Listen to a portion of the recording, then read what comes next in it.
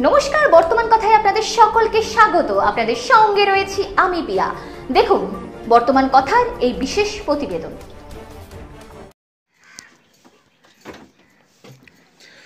সিউড়িতে পালিত হচ্ছে খেলা হবে দিবস। উনিশশো আশি সালের ষোলোই ডিসেম্বর। কলকাতায় মোহনবাগান এবং ইস্টবেঙ্গলের মধ্যে খেলায় পদপৃষ্ট হয়ে বহু দর্শক মারা গিয়েছিলেন। এই সকল দর্শকদের স্মৃতির উদ্দেশ্যে এবং তাদের স্মরণ করার জন্য একুশের বিধানসভা নির্বাচনের পর রাজ্যের মুখ্যমন্ত্রী মমতা বন্দ্যোপাধ্যায় খেলা হবে দিবস চালু করেছিলেন ষোলোই আগস্ট। সেই মোতাবেক মঙ্গলবার রাজ্যের অন্যান্য জায়গার পাশাপাশি সিউড়িতেও পালিত হচ্ছে এই খেলা হবে দিবস। সিউড়ি পৌরসভার যুবকরণের ব্যবস্থাপনায় এই খেলা হবে দিবস হচ্ছে সিউড়ি বেনিবাধব স্কুল ময়দানে। বীরভূম থেকে দিব্যেন্দু গোস্বামীর রিপোর্ট, বর্তমানের কথা। বীরভূম জেলা উপস্থিত আছেন।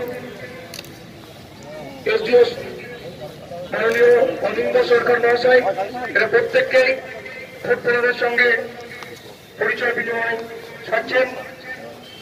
উপস্থিত আছেন আমাদের সিউড়ি পৌরসভা আমাদের সিউড়ি পৌর যৌগ আধিকারিক অনির্বাণ কুন্ডু মহাশয় উপস্থিত আছেন বেদমত ইনস্টিটিউশনের প্রধান এদিকে চলে আসুন এবার জায়গা আছে, হ্যাঁ রেডি হ্যাঁ।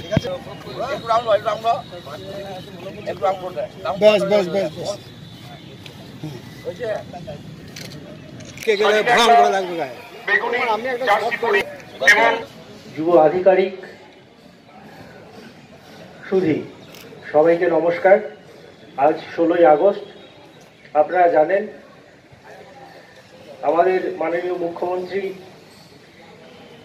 মমতা বন্দ্যোপাধ্যায়ের অনুপ্রেরণায় তথা নির্দেশে আজ আমরা সারা রাজ্যে উনিশশো আশি সালে ইস্টবেঙ্গল মোহনবাগানের ডার্বিতে পদপিষ্ট হয়ে যে ষোলো জন মারা গিয়েছিলেন, তাকে স্মরণ করে আমরা খেলা হবে দিবস পালন করছি। আপনারা, আমরা সবাই জানি আমাদের সমাজ তথা দেশ গঠনে খেলাধুলার ভূমিকা কি আছে।